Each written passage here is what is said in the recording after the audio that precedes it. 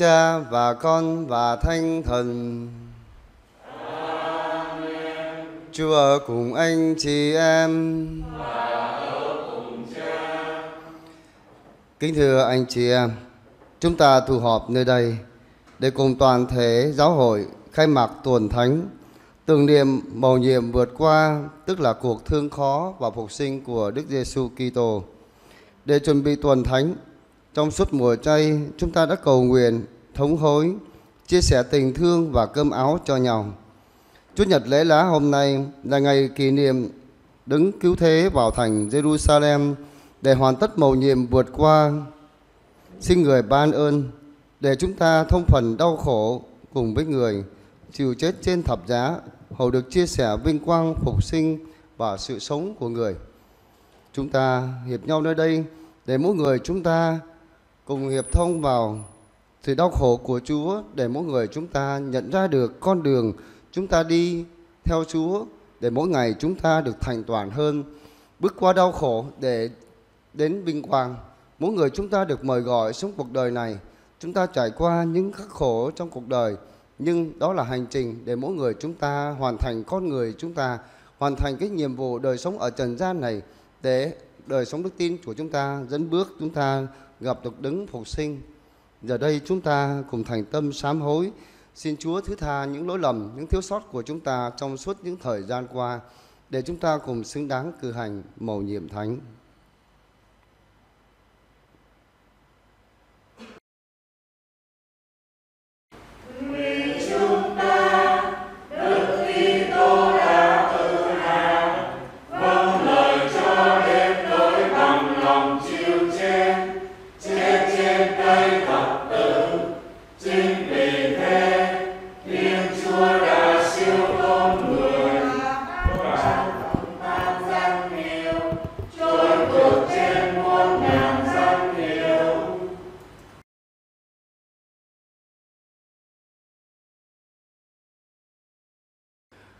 Cuộc thương khó của Chúa Giêsu Kitô theo Thánh Luca. Khi ấy, đoàn kỳ mục trong dân, các thượng tế và kinh sư đứng lên điều Đức Giêsu đến ông Phi-la-tô. Họ bắt đầu tố cáo người rằng chúng tôi đã phát giác ra tên này sách động dân tộc chúng tôi và ngăn cản dân chúng nộp thuế cho hoàng đế Caesar, lại còn xưng mình là Messia, là vua nữa. Ông Phi La Tô hỏi người, ông là vua dân Do Thái sao? Người trả lời, chính Ngài nói đó. Ông Phi La Tô nói với các thượng tế và đám đông, ta sẽ thấy người này không có tội gì, nhưng họ cứ khăng khăng nói, hắn đã thúi xuống suối dân nổi loạn, đi giảng dạy khắp vùng Jude, bắt đầu từ Galilee cho đến đây Nghe nói thế, ông Philato liền hỏi xem đương sự có phải là người Galilee không? Và khi biết người thuộc thẩm quyền vua Herode, ông liền cho áp giải người đến với nhà vua, lúc ấy cũng đang có mặt tại Jerusalem. Vua Herode thấy Đức Giêsu thì mừng rỡ lắm, vì từ lâu vua muốn được gặp người, bởi đã từng nghe nói về người. Và lại, vua cũng mong được xem người một làm một hai phép lạ. Nhà vua hỏi người nhiều điều, nhưng người không trả lời gì cả. Các thượng tế và kinh sư đứng đó tố cáo người dữ rồi Vua Herode cũng như thị vệ đều khinh rẻ người ra mặt nên đã khoác cho người một chiếc áo rực rỡ mà chế giễu rồi cho giải người lại cho ông Phi-la-tô Ngày hôm ấy, vua Herode và tổng trấn Phila tô bắt đầu thân thiện với nhau, chứ trước kia hai bên vẫn hiềm thù. Bây giờ ông Phila tô triệu tập các thường tế và thủ lãnh và dân chúng lại, mà nói, các người nộp người này cho ta vì cho là tay kích động dân, nhưng ta đã hỏi cung ngay trước mặt các người mà không thấy người này có tội gì, như các người tố cáo. Cả vua Herod cũng vậy. Bởi lẽ nhà vua đã cho giải ông ấy lại cho chúng ta. Và các người thấy đó, ông ấy chẳng can tội gì đáng chết cả. Vậy ta sẽ cho đánh đòn rồi thả ra. Nhưng tất cả mọi người đều la ó, giết nó đi, thả Baraba cho chúng tôi. Tên này đã bị tống ngục vì một vụ bạo động đã xảy ra trong thành và vì tội giết người. Ông Phila tô muốn thả Đức Giêsu nên lại lên tiếng một lần nữa, nhưng họ cứ một mực la lớn, đóng đinh, đóng đinh, đóng đinh nó vào thập giá. Lần thứ ba, ông Phila tô nói với họ, nhưng ông ấy đã làm điều gì gian ác, ta sẽ thấy ông ấy không có tội gì đáng chết. Vậy ta sẽ cho đánh đòn rồi thả ra. Nhưng họ cứ la to hơn, nhất định đòi phải đóng đinh người và tiếng la càng thêm dữ dội. Ông Philato quyết định chấp thuận điều họ yêu cầu. Ông phóng thích người tù họ xin tha, tức là tên bị tống ngục vì tội bạo động và giết người. Còn Đức Giêsu thì ông trao nộp theo ý họ muốn. Khi điều Đức Giêsu đi, họ bắt một người từ miền quê lên tên là Simon gốc Kyrene đặt thập giá lên vai cho ông vác theo sau Đức Giêsu. Dân chúng đi theo người đông lắm, trong số đó có nhiều phụ nữ vừa đấm ngực vừa than khóc người. Đức Giêsu quay lại phía các bà mà nói: Hỡi chị em thành Jerusalem, đừng khóc thương tôi làm gì. Có khóc thì khóc cho phần mình và cho con cháu. Vì này đây sẽ tới những ngày người ta phải nói Phúc thay đàn bà hiếm hoi Người không sinh không đẻ Kẻ không cho bú mớm Bây giờ người ta bắt đầu nói với núi non Đổ xuống chúng tôi đi và với gò nổng Phủ lấp chúng tôi đi. Vì cây xanh tươi mà người ta còn đối xử như thế Thì cây khô héo sẽ ra sao? Có hai tên gian phi cũng bị điều đi Hành quyết cùng với người. Khi đến nơi gọi là đồi sò, họ đóng đinh người vào thập giá, cùng lúc với hai tên gian phi, một tên bên phải, một tên bên trái. Bây giờ Đức Giêsu cầu nguyện rằng, lại tha xin tha cho họ, vì họ không biết việc họ làm. Rồi họ lấy áo của người chia ra mà bốc thăm. Dân chúng đứng dậy, còn các thủ lãnh thì buông lời cười nhạo hắn đã cứu người khác thì cứu lấy mình đi nếu thật hắn là đứng Kitô của Thiên Chúa là người được tuyển chọn lính tráng cũng chế giễu người chúng lại gần đưa giấm cho người uống và nói nếu ông là vua dân Do Thái thì cứu lấy mình đi phía trên đầu người có bản án viết đây là vua người Do Thái một trong hai tên gian phi bị treo trên thập giá cũng nhục mạ người Ông không phải là đứng Kitô sao? Hãy tự cứu mình đi và cứu cả chúng tôi nữa. Nhưng tên kia mắng nó, mày đang chịu chung một hình phạt, vậy mà cả Thiên Chúa mày cũng không biết sợ. Chúng ta chỉ như thế là đích đáng, vì xứng với việc đã làm, chứ ông này đâu có làm điều gì trái. Rồi anh ta thưa với Đức Giêsu, ông Giêsu ơi, khi ông vào nước của ông xin nhớ đến tôi. Và người nói với anh ta, tôi bảo thật anh, hôm nay anh sẽ được ở với tôi trên thiên đàng. Bây giờ đã gần tới giờ thứ sáu, thế mà bóng tối bao phủ khắp mặt đất. Mãi đến giờ thứ chín, mặt trời ngưng chiếu sáng, bức màn trướng trong đền thờ bị xé ngay chính giữa. Đức Giêsu kêu lớn tiếng, lạy cha, con xin phó thác hồn con trong tay cha. Nói xong người tắt thở Xin quỳ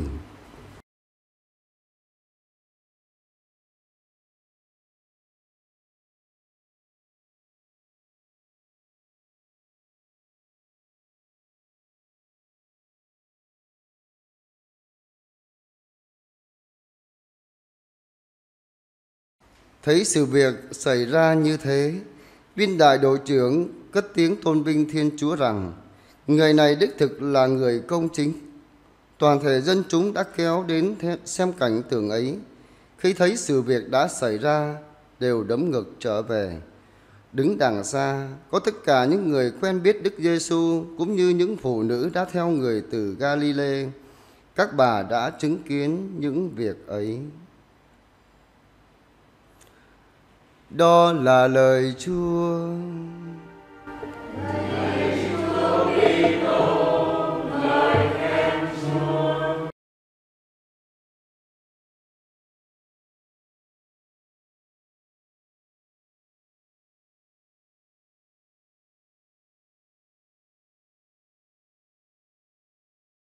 Kính thưa quý ông bà và anh chị em,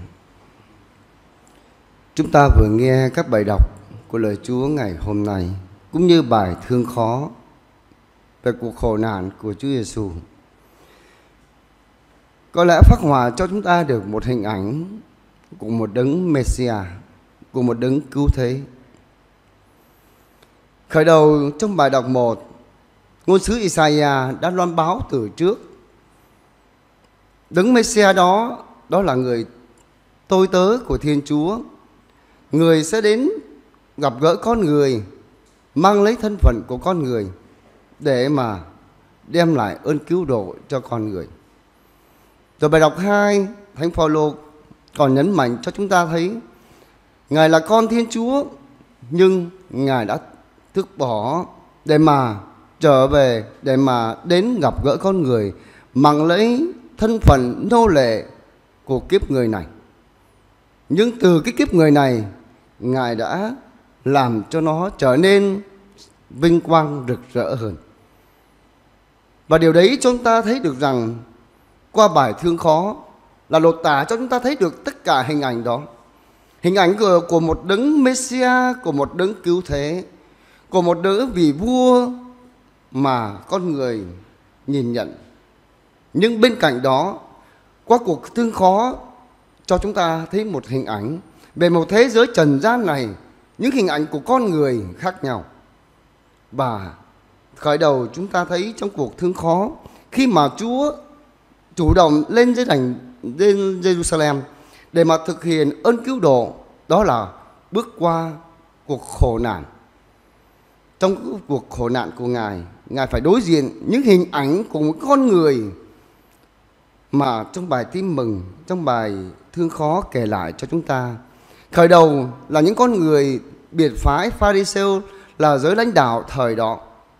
Thời những người này họ tôn thờ, họ đi theo Thiên Chúa, giữ lề luật của Thiên Chúa, nhưng họ không đụng chạm được Thiên Chúa và chính vì vậy đứng Messiah đến mặc khải cho con người họ không đón nhận.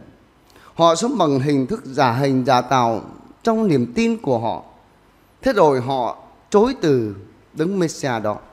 Để rồi họ là những con người chủ mưu để mà thực hiện triệt hạ đứng công chính. Bởi lẽ, Ngài là đứng ánh sáng. Ngài đã chiếu soi vào trần gian này để rồi cho thấy được rằng cái sự thật ở trần gian này và những con người đó đã sống không theo con đường của Thiên Chúa. Thế rồi họ sợ hãi, họ đành phải lập mưu để mà giết Chúa. Đó là hình ảnh của con người đầu tiên. Hình ảnh người thứ hai chúng ta thấy là những người quyền lực trong xã hội mà tiêu biểu trong bài thương khó nói đến đó là vua Herode Philato. Những người này họ biết rõ về Chúa Giêsu, họ biết rõ là Chúa Giêsu là con người chẳng làm gì. Ông này không đáng tội chết, ông chẳng làm điều gì gian dối nên tôi sẽ cho đánh đòn và thả ra. Nhưng rồi, sau cùng ông vẫn phải theo quần chúng. Mị dân, để rồi ghế giữ được cái ghế an toàn cho các ông. Và thế rồi họ sẵn sàng chối từ một sự thật, cái gì là công chính đang diễn ra trước mặt họ. Rồi hình ảnh người thứ ba chúng ta thấy, đó là những người dân chúng tội nghiệp. Họ là những đám đông đi theo và họ sự la ó trong cái sự không biết mình đang nói gì. Khi mà họ bị kích động lên thì họ chỉ biết được rằng la lớn lên đóng đinh đóng đinh nó vào thập giá Họ không biết là đang đóng đinh vào cái đứng mà họ đang mong chờ. Nhưng họ bị xúi dục, thế rồi họ cũng không nhận ra. Về cái tệ hại nhất của mỗi người chúng ta hay của những dân chúng ở chỗ nào là Chúa cho chúng con người có cái trí hiểu, có cái khả năng hiểu biết cái khôn ngoan. Nhưng con người đã không sử dụng nó để đi tìm cái sự thật của cuộc sống này. Thế rồi họ chạy theo những cái gì không còn là tốt đẹp nữa rồi hình ảnh thứ tư, đó là hình ảnh của những người môn đệ.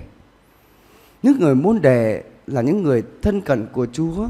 Sau ba năm đi theo chúa, họ cũng tin vào chúa. Nhưng mà giờ đây khi phải đối diện cái sự dữ ở trần gian này, họ chỉ biết đứng đằng xa, nhìn về thầy của mình đang chịu đau khổ. Họ không dám đối diện bởi lẽ đi đến chỗ thiệt hại đau khổ mà họ chưa có đủ lực để mà đối diện. Thế rồi, một hình ảnh chúng ta thấy, cả một cái hình ảnh của con người trần gian và một đấng công chính đang phải đối diện nhau. Qua cái cuộc thương khó, qua cuộc xét xử đó, lột tả chúng thấy thấy được rằng những con người của trần gian này và cái gì thuộc về trần gian này là cái sự gian ác. Và điều đó đang giết dần cái thế giới này. Nhưng Chúa đã phải đối diện với nó. Chúa đã phải đối diện tất cả những hình ảnh của con người đó ở trần gian này. Và qua đó chúng ta thấy được rằng thế gian là thế. Thế gian là những con người của sự gian, của sự ác. Và là những con người của sự bất toàn. Thiên Chúa đến để mà mời gọi con người đi theo Ngài để mà thay đổi cái hình ảnh đó. Đứng công chính là Đức Giêsu Kitô, Ngài đến để thay đổi cái hình ảnh đó. Ngài có thể dùng cái quyền năng của Ngài để cho mọi chuyện có thể không diễn ra như là cuộc thương khó mà Ngài phải đối diện. Nhưng không. Qua cuộc thương khó để Ngài nói lên một điều quan trọng hơn hết. Ngài không sợ cái đau khổ, cái chết. Cái đau khổ, cái chết đối với thiên chúa không là gì. Nhưng để qua đó ngài chứng minh cho con người thấy. Bước qua đau khổ để rồi bước vào sự phục sinh, vào sự sống, vào vinh quang của thiên chúa. Và đấy là giá trị, đấy là mục đích, và đấy là điều mà thiên chúa muốn mặc khải cho con người biết. Bước qua đau khổ, bước qua cái chết để vào bước vào sự phục sinh, chiến thắng cái chết. Bởi lẽ bấy lâu nay, từ xưa đến nay, chính cái chết, chính cái đau khổ mà làm cho con người sợ hãi không bao giờ dám hành động theo con đường công minh chính trực. Và giờ đây, Chúa đối diện, để rồi chứng minh cho một điều. Điều đó không là gì. Sự sống so, vĩnh cửu, đó là sự sống trên hết. Và đời sống con người sẽ không kết thúc. Nó là một sự sống kéo dài. Điều ngài mặc khải cho chúng ta, điều đó để mỗi người chúng ta tin vào Chúa, tin vào Đấng Kitô là Đấng phục sinh, ngài chiến thắng cái chết. Và như vậy, qua đó chúng ta thấy một điều Chúa cho chúng ta thấy là không có cái gì có thể cản trở con người chúng ta có thể sống theo con đường công minh chính trực không có điều tốt lành. Cho dù là cái sự giữ cho dù là cái sự chết, chẳng có thứ gì mà đe dọa, mà làm cho chúng ta sợ hãi. Chỉ vì chúng ta sợ hãi với cái đau khổ đó, với cái chết đó, làm cho chúng ta không biết hành động, không vâng theo cái điều tốt lành, sự công minh chính trực. Và như thế, cái hình ảnh con người vẫn mãi như vậy mà con người cứ vẫn luôn đau khổ như vậy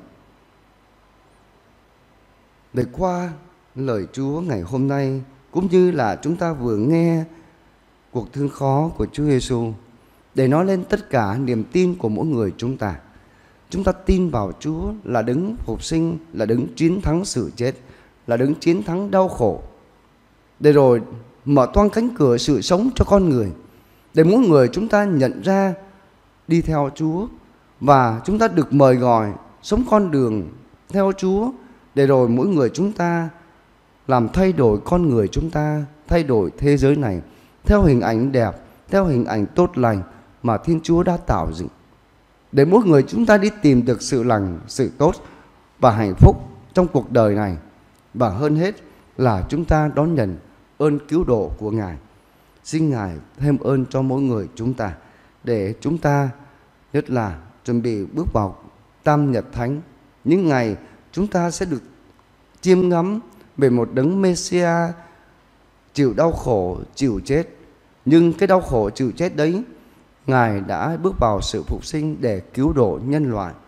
Chúng ta tin vào người, để người xin người cũng ban ơn cứu độ cho mỗi người chúng ta, để đời sống của mỗi người chúng ta được phục sinh mỗi ngày trong cuộc sống hiện tại và cho đời sống tương lai mai sau của mỗi người chúng ta.